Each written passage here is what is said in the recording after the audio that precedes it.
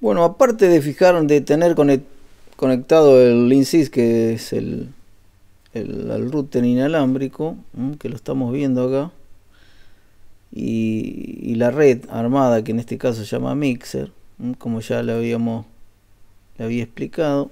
Vamos a repasar un poquito. Voy a inicio, panel de control, centros de redes, donde dice administrador de redes, se agrega el, la red.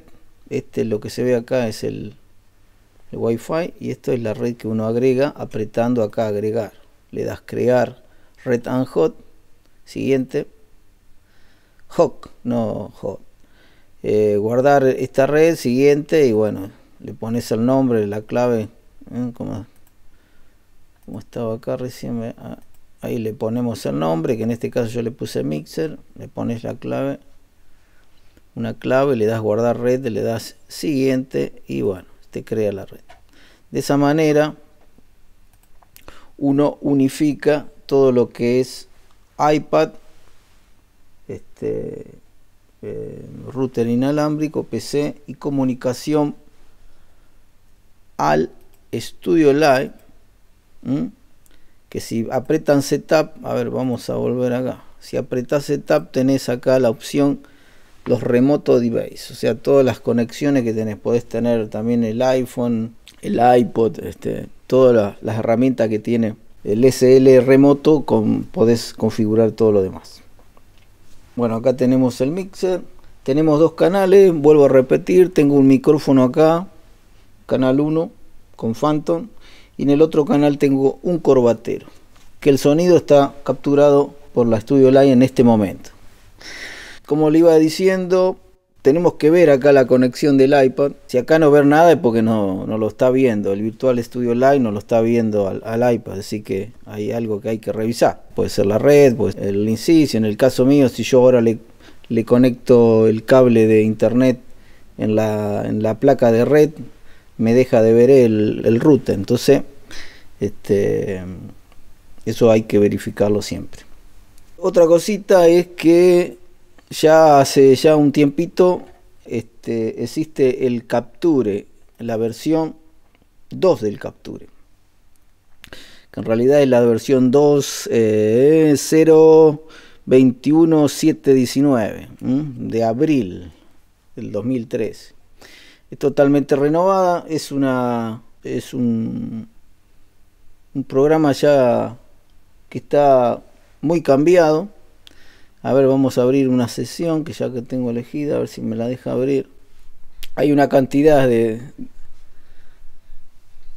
de eh, modificaciones. Este, bueno, eh, las modificaciones en el Capture 2.0 mm, hay una cantidad. Eh, entre ellas, la más importante es que uno puede agarrar y configurar otra placa de, de sonido. O sea, el Capture antes andaba exclusivamente con la, con la Studio Live. Ahora este, eso no es necesario. Uno puede tener una placa transportable, una Fire Studio.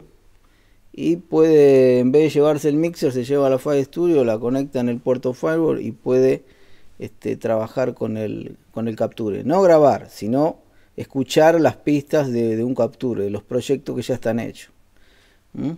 Tiene que recortar esas cosas. Eh, bueno, esto es para otro, para otro video, pero bueno, ya la estoy mostrando.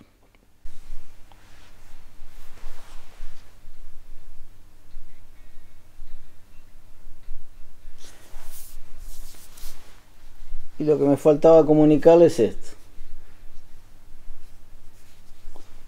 Podés ir cambiando los canales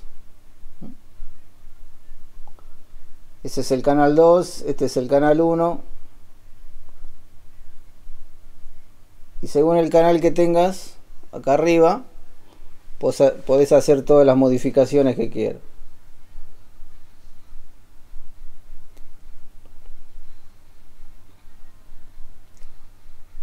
Podríamos, por ejemplo, bueno, dejamos una voz ahí. Y sé que ese es el canal 15 yo voy al canal 15 y puedo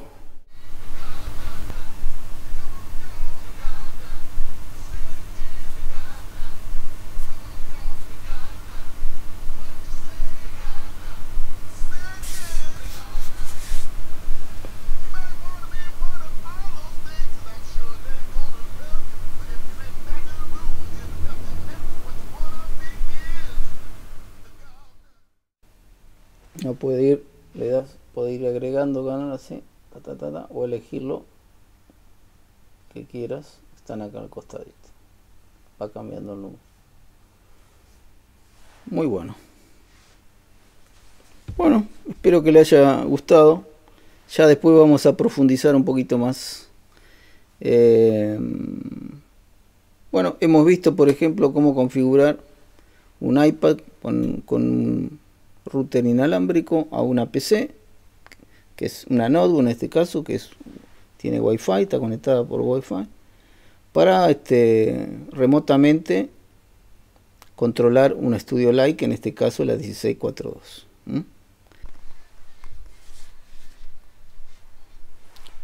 Goodbye.